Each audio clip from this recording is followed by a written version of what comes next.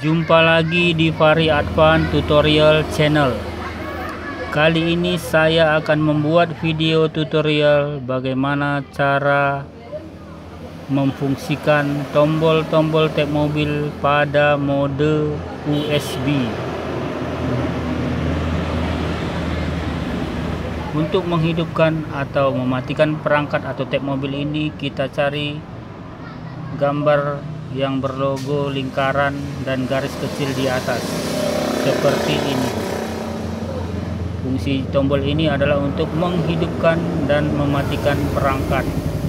Kita tekan. Maka tab mobil ini sudah menyala. Untuk memfungsikan tab ini pada mode USB kita langsung saja masukkan flash disk atau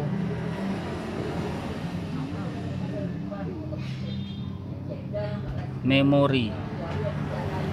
Flash disk tempatnya ada pada lubang ini. Ada tulisan USB kalau memakai memori ini tempatnya di lubang kecil ini yang bertuliskan TF sedangkan ini logo ini adalah logo baterai.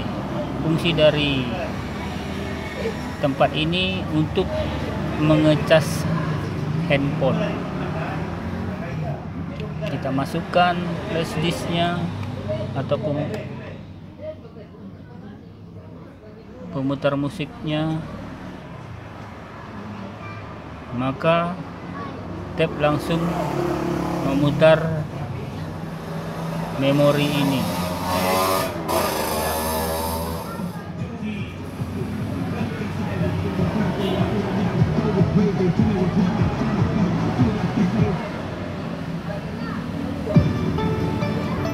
Pada mode USB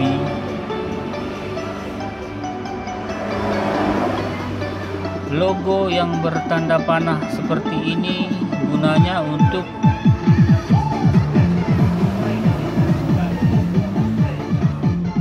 mengganti lagu naik atau turun.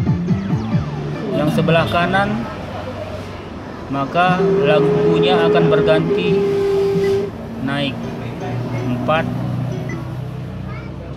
ini lagu track yang kelima track yang keenam artinya logo ini untuk memutar lagu ke track yang semakin naik.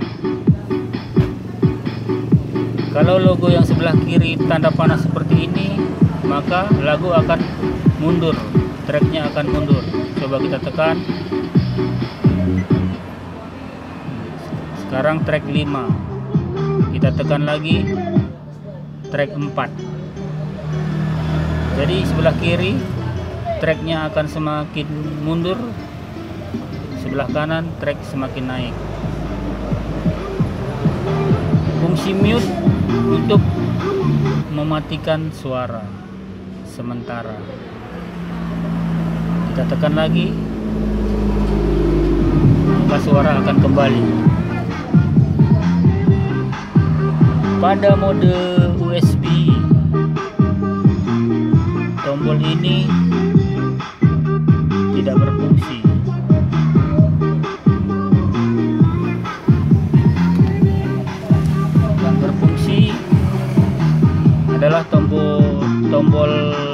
yang berlogo panah seperti ini. Untuk menaikkan track dan menurunkan track lagu dan tombol ini untuk mempause. Atau tombol pause. Maka lagu akan berhenti pada track itu.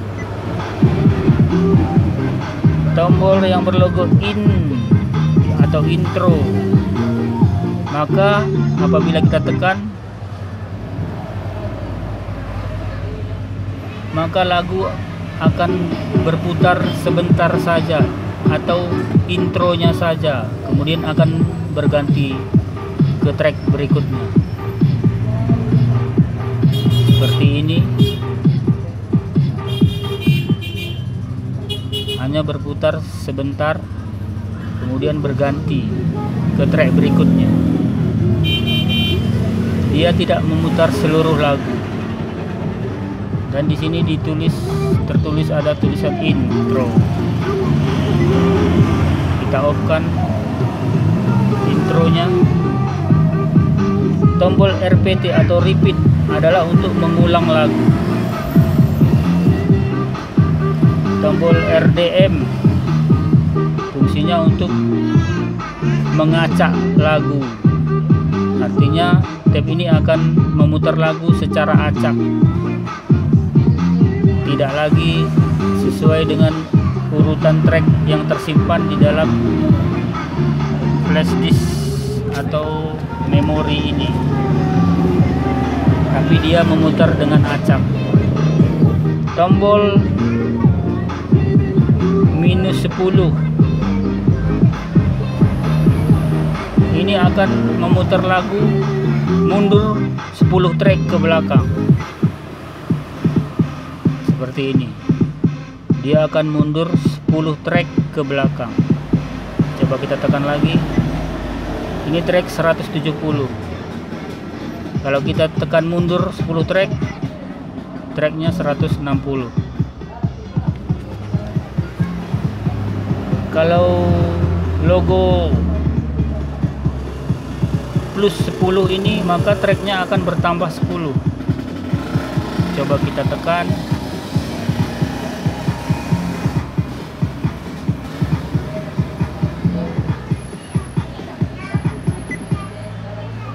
Track 170 dia bertambah. Naik 10 track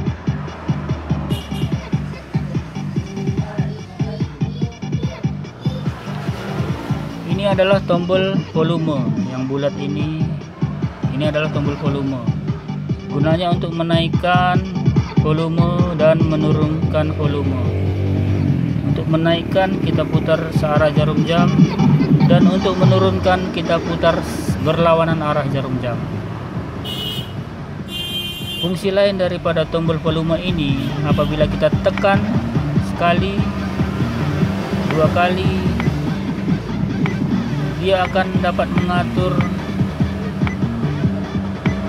bass, treble, balance, fader, load, dan equalizer.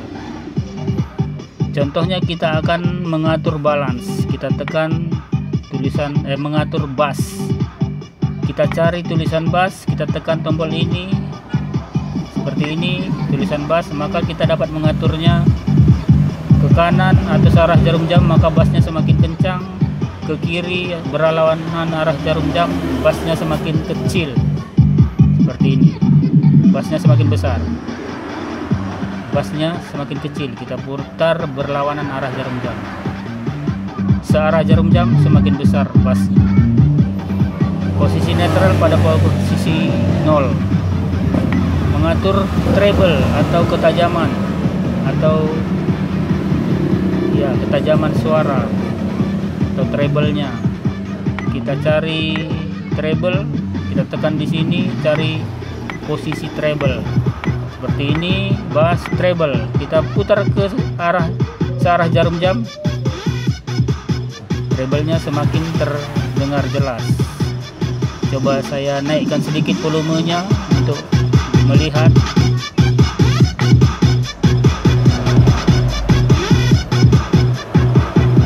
Putar berlawanan arah jam berlawanan arah jam. Treble semakin kecil searah jam. Treble semakin besar. Kita tunggu dulu. Tunggu sebentar agar lebih jelas atur treble. Suara treble semakin jelas. Bila kita putar ke sebelah kiri suara treble kurang jelas. Kita putar lagi sebelah kanan. Suara treble semakin jelas. Kemudian posisi balance L R kiri kanan. Artinya mengatur yang hidup itu speaker kiri atau speaker kanan.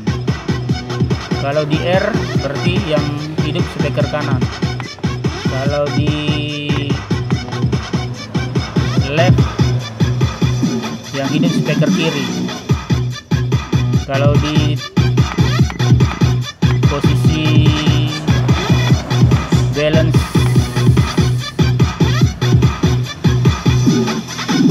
nol artinya dua-dua speaker kiri dan kanan hidup. Kemudian fader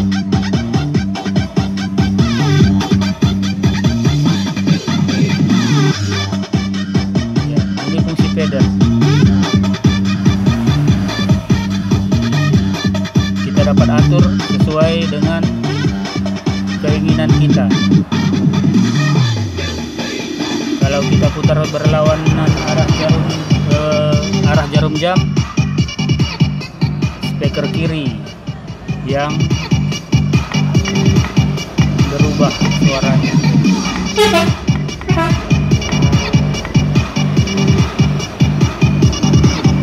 Kalau searah jarum jam maka speaker kanan yang menyala. Kemudian kita atur dulu feedernya sebel pada posisi netral 0 kita atur loud apabila loud off maka suaranya seperti ini.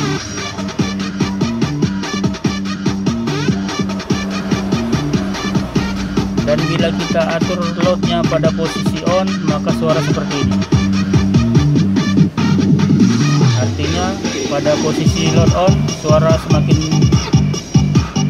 kuat dan bassnya semakin terdengar lebih baik lebih kuat kemudian ada fungsi equalizer. Mengatur lagu sesuai dengan lagu atau selera kita. Mengatur suara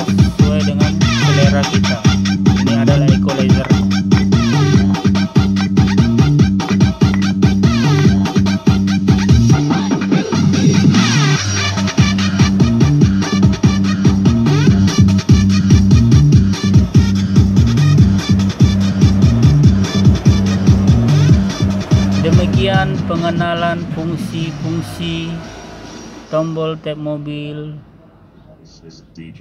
Pada mode USB dan pada mode USB ini tombol-tombol ini fungsinya juga sama pada apabila kita memutar CD atau DVD demikian tutorial saya kali ini kiranya dapat membantu teman-teman